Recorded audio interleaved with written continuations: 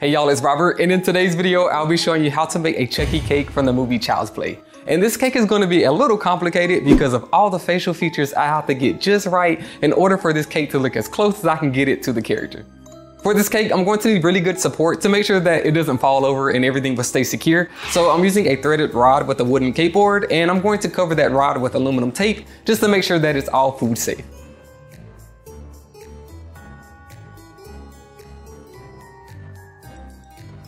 For the cake layers, I'm using confetti sheet cakes and I'm also using 6 inch cake layers for the head. And I'm going to torte these and then add simple syrup to each one because I will be carving this cake so I don't want it to dry out as I'm working on it.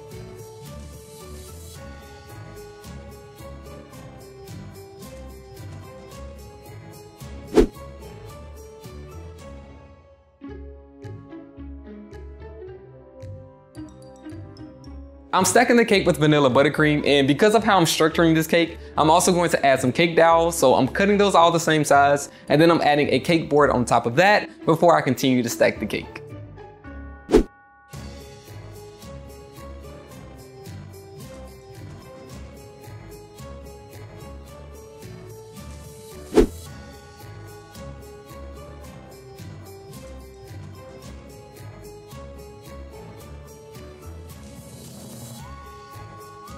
Now that the cake is all stacked up, I can now start carving it. So I'm using a serrated knife to do this. And I'm looking at a picture of Chucky and I'm just eyeing this, trying to get it as close as I can to the shape of this character.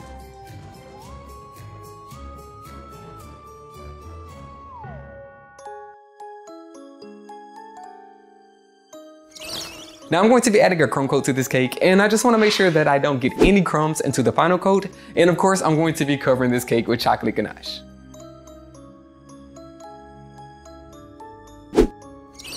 For the ganache, I'm using a 3 to 1 ratio of chocolate to cream, and I find that this ratio works best whenever I'm covering a cake with fondant or modeling chocolate. So I'm combining the cream and the chocolate, mixing that together until it's smooth, then I'm going to cover it and let it set before I add it to the cake.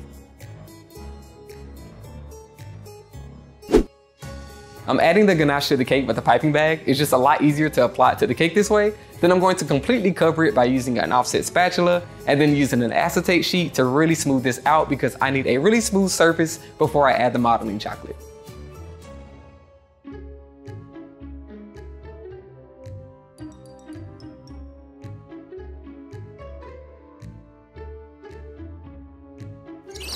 I like to use white modeling chocolate whenever I'm making a sculpted cake. I just find it to be a lot easier to work on all the details without having to worry about mixing colors up, and then I can just add the color at a later point. So I'm going to roll out the modeling chocolate and then completely cover this cake. But before I do that, I have to steam the ganache first because I wanna make sure that this modeling chocolate sticks to it.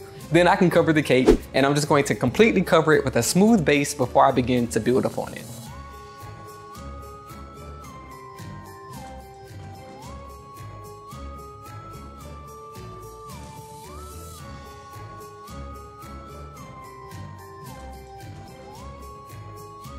Now I can start adding some details. So I'm adding some of the facial features first by adding his nose and his eyebrows and eyes and then also his mouth. And I'm doing this by adding modeling chocolate and using sculpting tools to get this as close as I can to the character.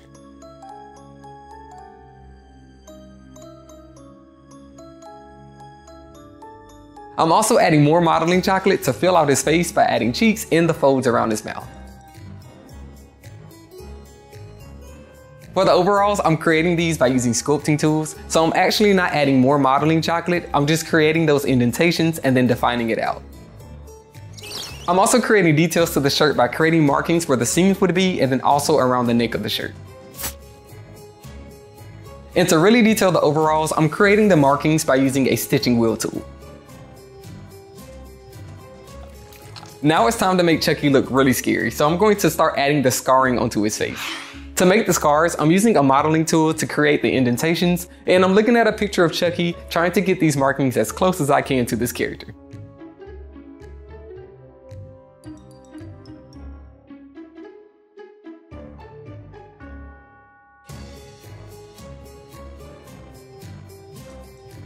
Now it's time to make his hair, and I saved this part for last because I already knew that this was going to be really tough to make. I've never had to make hair before, so I just added modeling chocolate on top of it and then began to build onto it. And then I use modeling tools to create indentations where it looks like hair strokes. And I think I got it pretty good. This is the first time that I had to create hair, so I just know that I'll get better at it.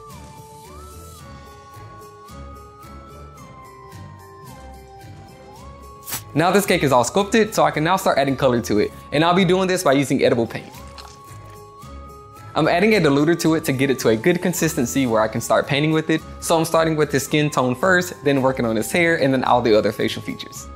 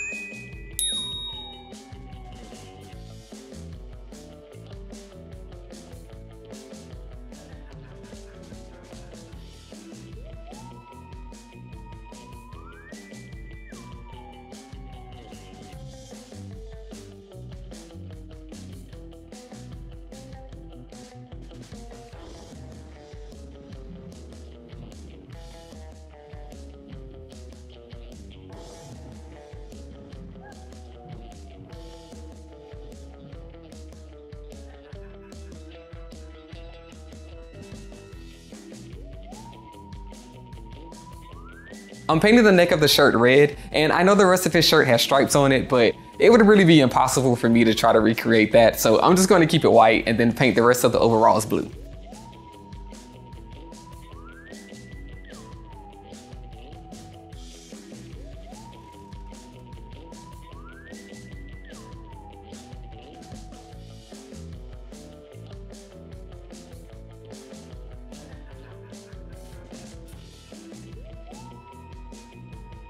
And to add a little more detail to the face, I'm using petal dust to create some dimension. This is really going to add those shadows and this really makes this character pop.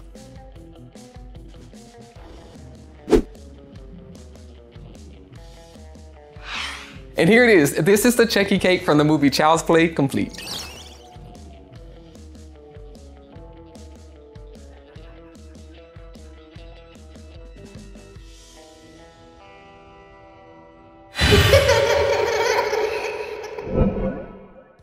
This was a really tough cake to make, but I had a lot of fun working on the details. It's my favorite part whenever I'm working on a sculpted cake. So I hope you all enjoyed this video. Make sure that you like and subscribe to the channel and comment below any other cakes that you want to see me make. And until then, I'll see y'all in the next video. Focus. Focus on me, not the pumpkin. so this was a It want to focus on that pumpkin so bad. Oh my gosh.